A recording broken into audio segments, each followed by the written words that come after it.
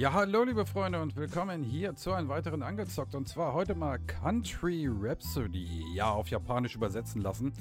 Ähm, ist ein Early Access Game, ist so eine Ähnlichkeit wie Farm, äh, wie Stardew Valley. Natürlich nicht, ey, komm Stardew Valley, jetzt kannst du nicht toppen, aber es ist ein Early Access Game. Äh, sehr interessantes Game von der Firma Joe Games. Ähm, ist auf Steam erhältlich, äh, hat eine sehr positive Review bekommen von 660 Leuten, alle relativ positiv gestimmt, die meisten davon natürlich alles Japaner, Chinesen.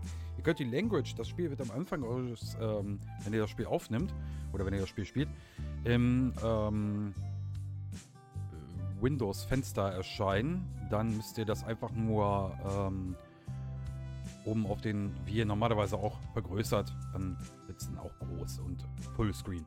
So, ähm, ganz kurz vorweg, also unter Country Rhapsody. Ähm, es ist so, wie gesagt, entwickelt, also veröffentlicht wurde es am 5. Oktober 22, relativ frisch von Jojo Games.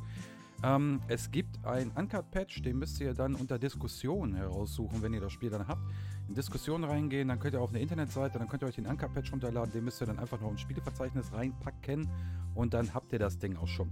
So, es ist natürlich äh, ein klares Age-Game. Brauchen wir nicht drüber reden. Im Stil von Stardew Valley. So, wir starten einfach mal ein Spiel. Ich habe hier schon eins gestartet mit Ben. Ähm, ja, komm, das kann ich gleich mal... Das kann ich gleich mal aufladen. Das ist das Beste. Dann zeige ich euch gleich mal ungefähr, wie das Spiel so ungefähr funktioniert. Ähm, ich bin jetzt hier schon ein bisschen weiter. Also ihr seht schon, Stardew Valley lässt schön grüßen. Ähm, mit WASD bewegen wir uns auch. Wir können über Shift die Schnell-Lauftaste-Funktion oder G-Taste machen. Wir gehen hier alle raus. Wir kriegen die ganzen Equipments gleich alle am Anfang. Ne? Also ihr kriegt alles gleich am Anfang von unseren Mafia-Dorf-Sheriff aufgeballert. So, wenn die Ausrufezeichen hier an der linken Seite entscheiden, müsst ihr halt Talk to the Village Head's Wife und Plant, äh, muss ja für, ja, Muscat and give 30 to Aunt Mai. Das sind so eure äh, Tasks. Wundert euch nicht, ihr müsst ähm, am Anfang erstmal eine Villager-Task von den, äh, ich sag mal, unserem Mafia-Boss hier erledigen. Und dann, ähm, die Tasks kommen nach und nach immer weiter und weiter. So, hier oben seht ihr schon mal, habe ich was gepflanzt. Das kann man dann einfach abhärten mit der Sichel. Zack, geht das weg. Zack, ist das auch weg. Ähm, jetzt, wie mache ich eigentlich Felder? Das sieht ganz gut aus gerade. So, ihr habt da oben, habt ihr hier euren Energy-Balken. Ihr habt 98, 100. Da könnt ihr erstmal hier alles so ein bisschen platt machen. Ich mache das jetzt mal ein bisschen. Ähm, so, auch diese kleinen Dinger hier, auch alles wegfarmen. Äh, so, und Hacken, ja, ich habe jetzt X plus One gekriegt. Also ich bin auch noch nicht komplett durch mit dem Spiel.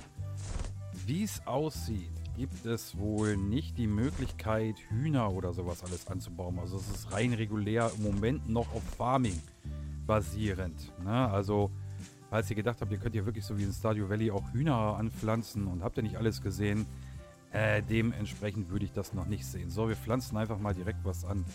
Muss ja sowieso, glaube ich, Muskat blenden. Ne? Ähm, die Regenwürmer kommen dann öfters mal auch beim ähm, Hacken daher vor. Könnt ihr euch dann einfach einsammeln und gut ist. So, wir machen mal eben ganz kurz hier noch das Feld hier eben. Wir machen Zweierreihenfeld fertig. Wir brauchen nur 10 Stück. Alles verbraucht, wie gesagt, ziemlich viel Energie. Ihr seht selber, was beim Dings da weggeknallt wird. Ja. Meistens stören ein bisschen so die Bäume. Aber man kann sie ja weghaken. Die kommen dann nach Zeit auch wieder. Holz braucht ihr ja irgendwann auch nochmal. Gerade für eine Quest am Anfang braucht ihr auch Holz. Ähm, so, dann haben wir das gemacht. Hier hätte ich noch ein paar Pepperoni-Seeds. Die könnte ich... Ach nee, warte mal. Wir wollen ja hier dieses Muskat da machen. Machen wir eben kurz die, die zeige ich euch das mal eben kurz alles. So, ähm, ihr habt Villagers, die hier leben, wie zum Beispiel sie hier mit drei Herzbalken ist die schon voll. Das heißt also, die ist schon, habe ich ihren Task, ihre Quest schon absolviert. Ich habe das Spiel auch schon ein bisschen länger gespielt. Ähm, kaufen ist sie auf alle Fälle im Shop. Sie ist die erste, die ihr beeindrucken könnt. Also von daher gleich schon mal vorweg ein bisschen gespoilert. So, dann geht er hier rein. Ihr könnt auch Selling ich habe ja hier noch einige Sachen, die ich noch hatte. Ihr könnt Bärenfallen legen. Ich zeige euch das, wie das auch funktioniert. Ähm, wir haben Damage. Fallen. Ob wir die auch wieder reparieren können, ich weiß es nicht. Auf alle Fälle sind die kaputt. Die kann ich auch verkaufen. Scheiß doch drauf. Ähm, ich möchte gerne, was war das für ein Muskat, ne? Ja, die muss ich jetzt, äh, 30 Stück, glaube ich, brauche davon.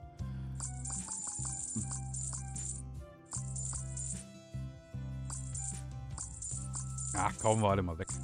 Alles am Muskat wegkaufen. Ah ne, wir haben das gesellt, ne? Ach, scheiß drauf. Müssen wir sowieso kaufen. So, bei Muskat. So, jetzt können wir kaufen. Muskat 1, 2, 3, 4, 5, 6, 7, 8, 9, 10, 11, 12, 13, 14. Oh Gott, mein Geld geht gleich wieder weg. 15, 16, 17, 18, 19, 20 Stück bekomme ich da aber noch aus. So, dann haben wir Sally nochmal eben ganz kurz was von den Orchideen.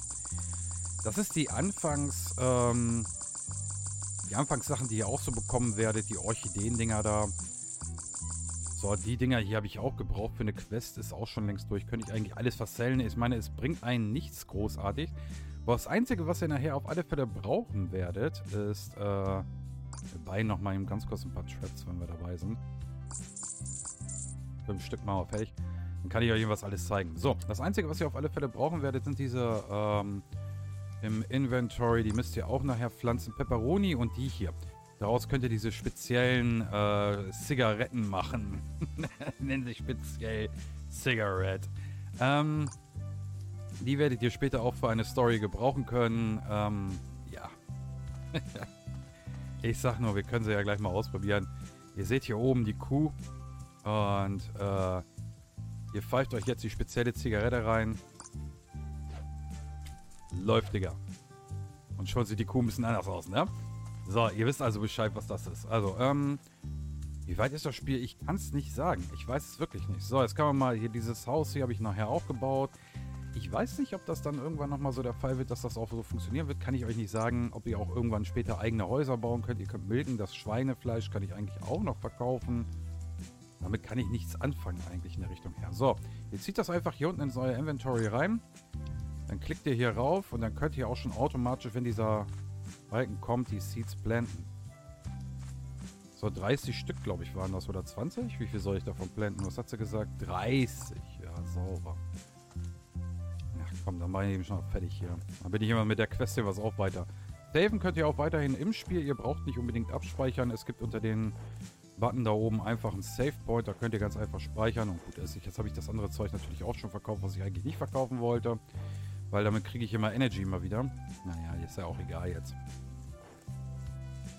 So, den Wurm nehmen wir uns auch nochmal mit. Den auch nochmal. Dann hauen wir eben schnell hier nochmal eben die sechs Samen raus. Ich muss nicht unbedingt 30 machen. Das reicht auch schon aus, wenn ich äh, das mache und dann nochmal die Rest dazu mache. So, Fischen. Ihr müsst die Würmer haben. Dann könnt ihr hier fischen gehen.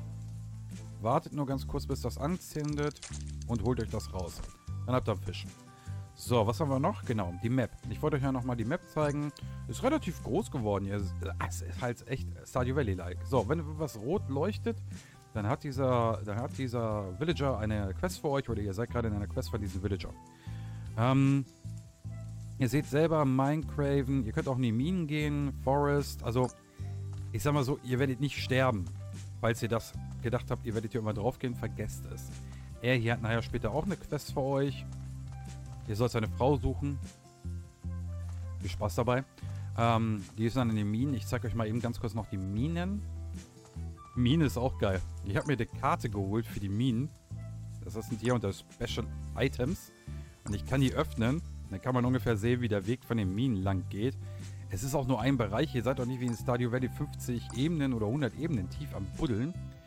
Sondern ihr geht hier nur in den Bereich rein. Ihr habt so eine kleine äh, Dingses. Ihr nimmt die Pickaxe und äh, armt dann mal eben schnell das ab. So, manchmal kriegt ihr Stein.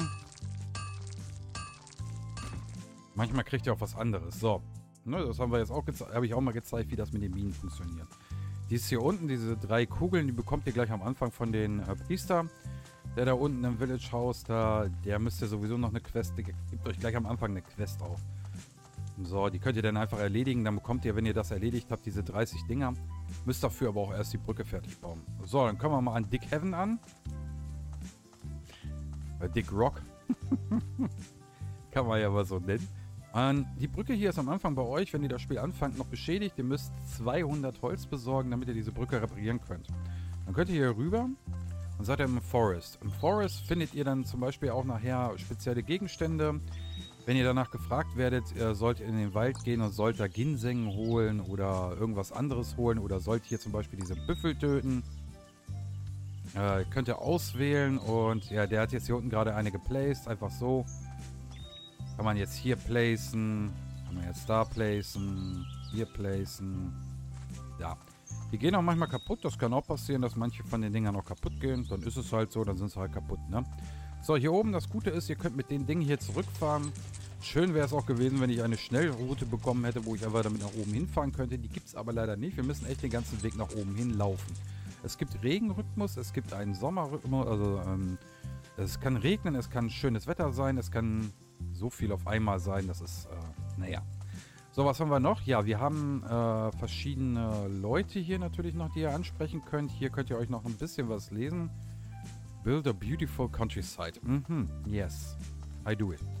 Äh, ihr habt hier noch die Tante drin. Überall da, wo Herzensbalken sind, die könnt ihr erobern. Ähm, wir haben jetzt ja eine durchgeraucht. Dann können wir ja eigentlich auch... Ja. Hier unten ist der Shaolin-Mönch. Da, ihr könnt ihn ansprechen. Conversation. Er hat nur eine Quest für uns gehabt. Ähm, ich kann das jetzt mal gerade an der Tante mal ganz kurz zeigen. Das ist nämlich ziemlich cool. Ähm, um zu wissen, ob ihr das Spiel wirklich uncut habt, müsst ihr einfach hingehen und wenn das hier steht, do comparable things, dann habt ihr das Spiel...